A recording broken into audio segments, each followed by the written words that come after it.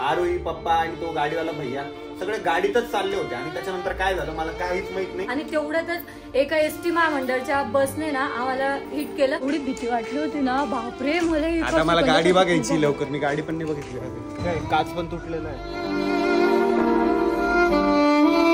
हे guys good morning and welcome to our new blog so आता वाजलेले आहेत दुपारचे बारा आणि दोन तीन दिवस आहे ना मी मम्मीकडे गेलेली होती कारण की रक्षाबंधन वगैरे होतं. तिकडे मी काही ब्लॉग वगैरे घेतलं नाही. त्याचं पण रिझन सांगते मी. आजच सकाळी मी आलेली आहे इकडे. तर आम्ही सांगतो काय काय झालं या तीन दिवसामध्ये. तर मित्रांनो विषय असा होता की आपली जी मोठी कार होती ना ती पप्पाच्या एका मित्राला लागत होती. त्यांना नाशिकला जायचं होतं तर. आणि आरोईला पण सेम डे ला वाळूजला जायचं होतं. आणि पप्पाची कंपनी पण वाळूजलाच आहे. आणि पप्पाचा मित्र पण तिकडे वाळूजलाच होता ना. तर एक जण दुसरा भैया आपली गाडी घेऊन पप्पा आरोही सगळे सोबतच चालले होते. कारण आरोहीचं घर पण तिकडेच आहे मम्मी पप्पाचं ना. तर आरोही पण तिकडेच उतरणार होती. आरोही पप्पा आणि तो गाडीवाला भैया सगळे गाडीतच चालले होते. आणि त्याच्यानंतर काय झालं? मला काहीच माहीत नाही. ते गेले इथून मला एवढंच माहिती आहे.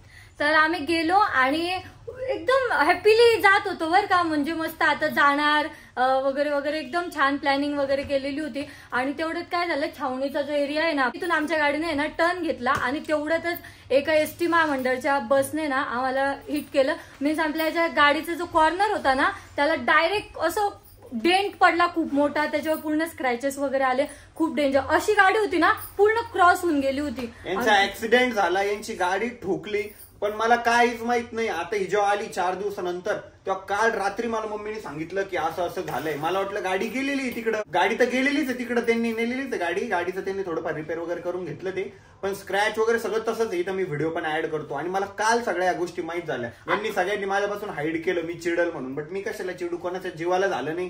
काही तेच सगळ्यात मोठी गोष्ट आहे. नाही तू चिडेल म्हणून नाही. तुला टेन्शन येईल. खूप जास्त टेन्शन घेशील. कारण की एकतर ऍक्सिडेंट झालेला ते गाडीला स्क्रॅचेस वगैरे पडलेले डेंट पडलेला. आणि त्यातल्या त्यात तुझ्याकडे गाडी पण नाही बघायला की ऍक्च्युली गाडीला किती लागलेलं आहे काय काय झालेलं आहे काहीच नाही. त्याच्यामुळे तू खूप ओव्हर थिंकिंग केली असती टेन्शन घेतलं असतं ना.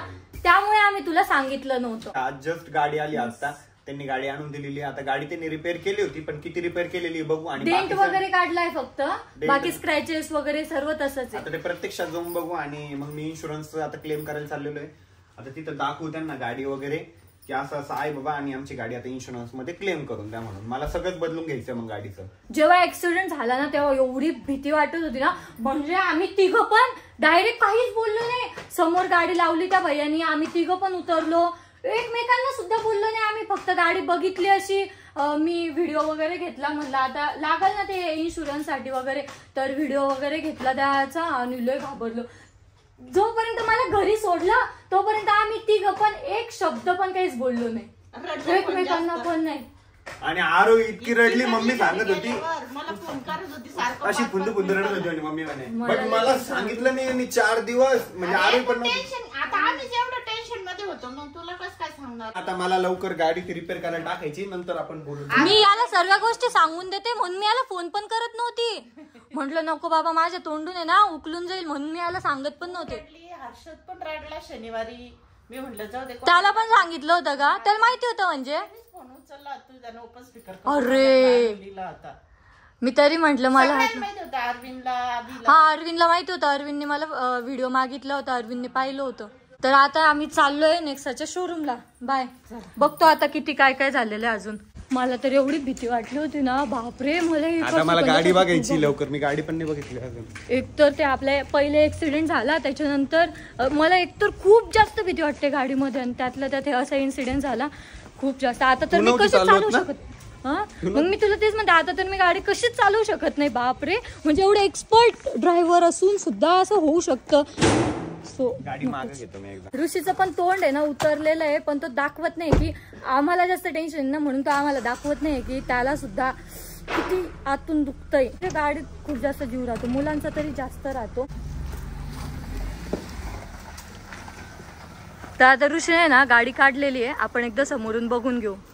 हे बघ इथे डेंट काढला रे. डेंट काढला हे पूर्ण छपलं होतं डायरेक्टमध्ये गेलेलं होतं. ते पूर्ण कलर निघाला. आता हे होईल का रिकवर सर्व? हा होईल ना. कधी दिसालच असं धब्बे धब्बे. हे काच पण तुटलेला आहे? काच पण फुटलाय. मग मी तुला काय सांगितलं? इतकी हे बघ. हे बघ हे लाल लाल लाल ते बसचं सर्व घासलेलं. हे आता पूर्ण आहे ना हे चेंजेस करणं पडेल. हे हे काय इथं पण डेंट आहे. हे.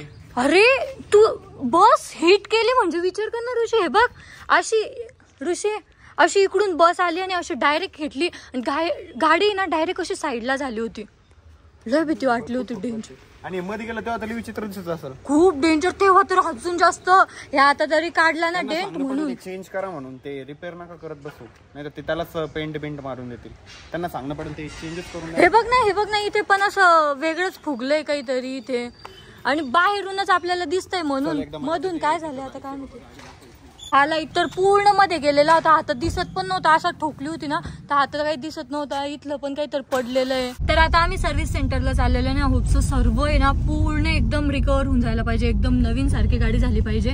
बिलकुल काही असं वाटलं नाही पाहिजे की इथे काहीतरी झालं होतं आणि त्याला रिकवर केलेलं एकदम चेंज एकदम नवी. जसं पहिले होती शोरूम मधून काढली तेव्हा जशी गाडी होती ना तशी झाली पाहिजे. असं पण नको वाटायला आता जर वरचे पार्ट आहे ना थोडे आपल्या आता ओल्ड झाले ना वन इयर वेगळे पण नको वेगळे पण वाटायला. नको वाटायला त्याला म्हणणं पडेल बाबा की सेम टू सेम मॅच करून द्या आम्हाला सगळं. कारण की आपण वरच्या जे आलंय ते पीपीएफ की काहीतरी केलेलं आहे ना? नाही पीपीएफ नाही केलेलं आपण. आपण काय केलेलं आहे ते? करून घेऊ कोटिंगचा जर प्रश्न असला तर परत तेवढ्या पार्टला केलं जातील कोटिंग हो का? पण मग वेगळं नाही वाटलं पाहिजे. आता बघू ना काय होतं काय नाही. कोटिंग गेली पण असेल आता मला असं वाटतं. कारण एक वर्ष आलं एवढ्या वर्ष राहत कोटिंग? एकदम भारी होऊन जायला पाहिजे एकदम मस्त नवीन सारखे.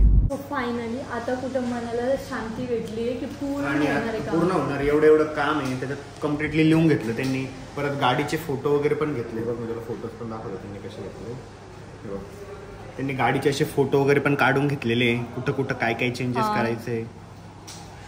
बापरे बाप. सो आपली गाडी ना पहिल्यासारखी झाली पाहिजे. फार टेन्शन आलं होतं ना? मग मला इथे यूज तर असं होतं की चल लवकर चल लवकर. मी वाटत बघत होतो कधी तू येते कधी आपली गाडी येते. तू आली थोड्या वेळाने गाडी आली लगेच निघालो आपण इकडं त्यामुळेच आम्ही तुला सांगितलं नव्हतं. विचार कर मी तीन दिवस कसे काढले असेल ते पण तुला न सांगता. तीन दिवस बाप गाडी नाही गाडी नाही गाडी करायला टाकायची. आणि त्यात मेन म्हणजे आमचं इन्शुरन्स संपतच आलं होतं. मी आता त्याच्यात गडबडीत होतो. मागं दोन चार दिवस की इन्शुरन्स काढायचे परत इन्शुरन्स काढायचे आता काढून घेऊ. मला तीच भीती होती. मला दोन तीन दिवस आधी काय म्हटले माहिती का? की इन्शुरन्स करायचंय ना ते चांगलंच काढ म्हणे. म्हणलं "यार, पप्पा असं कसं काय म्हणताय? यार चांगलंच कर. पप्पा तर असं म्हणायला पाहिजे ना की अं, साधं वालं कर काही नाही एवढं आपण कुठं घेतो. पप्पा काय माहिती का चांगलं कर म्हणे. चांगलं म्हणलं काही गरज नाही पप्पा. नाही नाही चांगलंच कर म्हणे. गेले गेले पैसे शंभर टक्के क्लेम झाले पाहिजे म्हणे. म्हणजे मी ते चौदा हजारवाले का अठरा हजारवाले करत होतो. पप्पा नाही, नाही, सत्तावीस हजारवाले कर म्हणे. नाही तू मागे एकदा फोनवर बोलत नव्हता का की क्लेम केला का? किंवा इन्शुरन्स भरला का भरला का एकदा नेक्स्ट मधून फोन आला होता. म्हणून मला टेन्शन की आपला इन्शुरन्स आहे का संपलाय. हो का? फायनली आता इन्शुरन्सचं वगैरे काम झालेलं आहे आणि एकदम आपली गाडी ना नव्यासारखी होणार आहे आता. पण चार दिवसानंतर भेटणार आहे. आणि आम्ही संकेतला बोलवलं होतं आम्हाला न्यायला पण संकेत यायच्या आधी ना पाऊसच इतक्या जोरात आलाय ना कारण की संकेतने इतका वेळ लावला. बापरे पाणी इथं. इकडे पाणी सांगते इथं. हे बघ ना हे गाडी लावायचं वाटतं. इथं काहीतरी रिपेअर होत असेल गाडी. हे बघ ना लाइट पण आहे खालून. ते खालून रिपेअर करायला. हे वरती उचलता येतं का गाडीचं? का नाही? काय जोरात पाऊस सुरू झाला? बरं आहे ना तुला पाऊसच लागत होता ना. घे पाऊस घे पाऊस आता. लागत होता पण आपण घरी पोहोचल्यावर लागत होता. याने जर फक्त दहा मिनिटं लवकर आला असं ना आपण घरी पोहोचलो असतो मस्त. पण आता यांना ओलं होत टाइमपास कसं जायचं? केला. आपल्याला रिक्षा करून जावं लागेल मग नाही तर. थांबून घेऊ ना तोपर्यंत आता. काय मग? नाही थांबला तर? थांबल. तर आता आलो आम्ही घरी कारण की आमचं आहे ना आता एक टेन्शन आमचं दूर झालेलं आहे कारण की गाडी ना एकदम भारी होणार आहे आपली. पूर्ण नवीन सारखी होणार आहे कारण की इन्शुरन्समध्ये ना पूर्ण सर्व जे छोटे मोठे डेंट किंवा मग छोटे मोठे जे स्क्रॅचेस वगैरे होते ना ते सुद्धा कव्हर होणार आहे. आणि गाईज खूप दिवसांनंतर आहे ना माझी एक फ्रेंड मला भेटायला आलेली मीन्स आम्ही खूप दिवसांचे फ्रेंड जेव्हा मी एटमध्ये असताना हो ना का एटमध्ये जेव्हा आम्ही होतो ना तेव्हापासून आम्ही फ्रेंड्स आहे आणि आतापर्यंत पण आहे. तर मी इंट्रोड्यूस करते. ही आहे माझी मैत्रीण प्रतीक्षा. हाय स्कूलमध्ये किंवा मग कॉलेजमध्ये पण आम्ही सोबतच होतो. तर आमचे खूप जास्त असे इन्सिडेंट्स होते जे आम्हाला खूप लक्षात येतं. त्याच्यातला सर्वात मेन इन्सिडेंट म्हणजे असा होता की तो माझा पास्ता. यार म्हणजे मी ना कॉलेजला पास्ता बनवून द्यायची खूप मोठा एवढा मोठा डब्बा भरून पास्ता घेऊन जायचे. आणि मग आम्ही चार फ्रेंड्स होतो. सो आम्ही सर्व खायचो मस्त पैकी तुला आवडतो ना माझ्या पास्ता मास मास परत खायला भेटणार तुला. आता मी पास्त्याचीच तयारी करते तर फायनली आता पास्ता तयार झालेला आहे.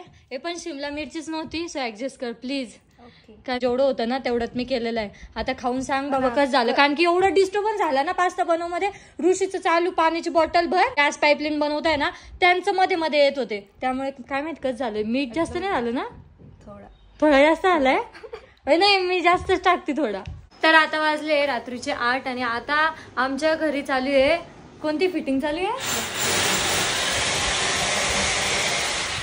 गॅसची फिटिंग चालू आहे गॅसची फिटिंग. आणि आपल्याकडे गॅस कधी येणार आहे? आमच्या इकडे ना पाण्याच्या नळाची फिटिंग पण खूप दिवसांपहिले झालेली पण पाणी अजून आलेलं नाहीये. गॅसच्या पाईपलाईनची फिटिंग चालली आहे. आता ते तरी कधी येतं काय माहिती? हे बघा इथं छिद्र बिद्र पाडलेलं इथं. वरतून येणार म्हणजे पाईप तसंच दिसेल आता तो तर.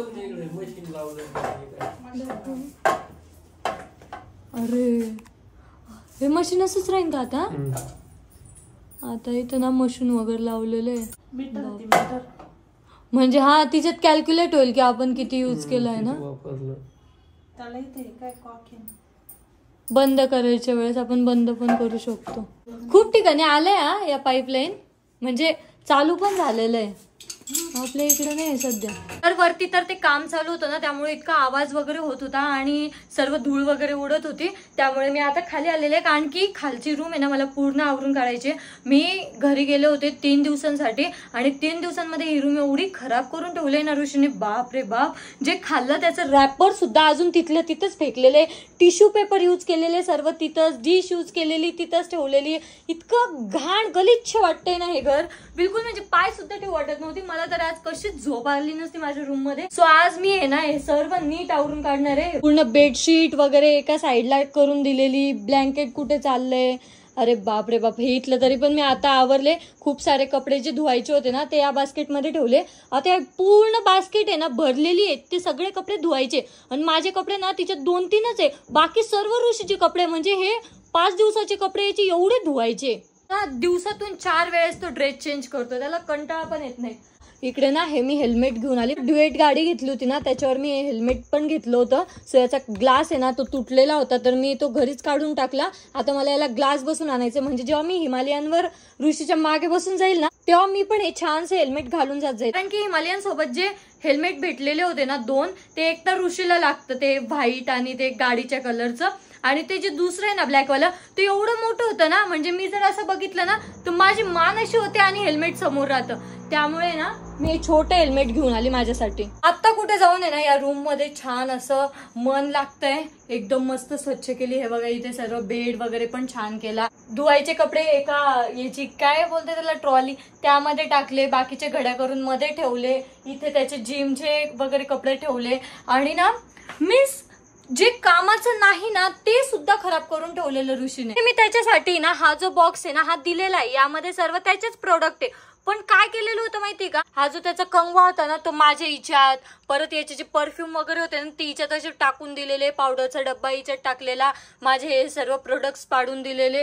सर्व हिचक बिचक करून ठेवलेलं होतं. आता फायनली मी ते सर्व आवरलेलं आहे. तर आता आमचे जेवण वगैरे झालेले आहे आणि आता मी ना माझी night skin care routine follow केलेली आहे. कारण ना दोन तीन दिवस झाले मी मम्मीकडे गेलेली होती आणि तिकडे मी ना एकदम कंटाळा केला. काहीच नाही केलं. मस्त नुसतं झोपा मारले.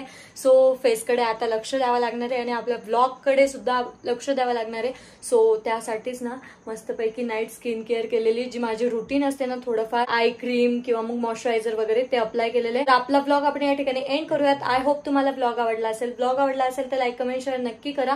आपल्या चॅनलला सबस्क्राईब करायला विसरू नका. भेटूयात नेक्स्ट ब्लॉगमध्ये. तोपर्यंत बाय